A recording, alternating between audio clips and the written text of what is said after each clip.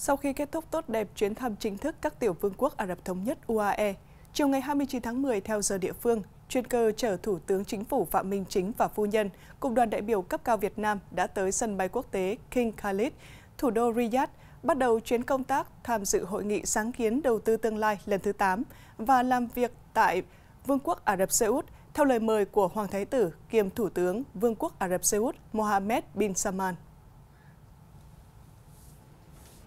Đón Thủ tướng Phạm Minh Chính và phu nhân cùng đoàn đại biểu cấp cao Việt Nam tại sân bay King Khalid có Hoàng thân Mohammed bin Abdulrahman bin Abdulaziz, Phó Thống đốc thành phố Riyadh, Đại sứ Việt Nam tại Ả Rập Xê Út Đặng Xuân Dũng, cán bộ nhân viên đại sứ quán và đại diện cộng đồng người Việt Nam tại Ả Rập Xê Út. Chuyến thăm làm việc của Thủ tướng Phạm Minh Chính tại Ả Rập Xê Út diễn ra trong bối cảnh quan hệ ngoại giao hai nước sau 25 năm thiết lập đang phát triển tốt đẹp với nhiều kết quả thực chất.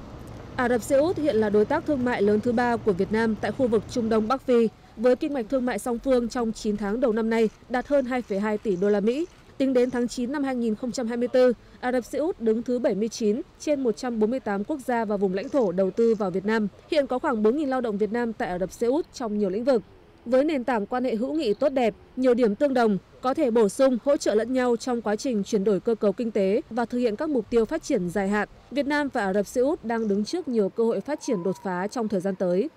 Chuyến thăm làm việc tại Ả Rập Xê Út lần này của Thủ tướng Phạm Minh Chính được kỳ vọng tạo động lực mới cho những lĩnh vực hợp tác truyền thống giữa hai nước, tạo đột phá mới thúc đẩy những lĩnh vực tiềm năng và trên hết là tạo dựng vững chắc sự tin cậy chính trị để mở đường trong một giai đoạn hợp tác mới giữa Việt Nam và Ả Rập Xê Út.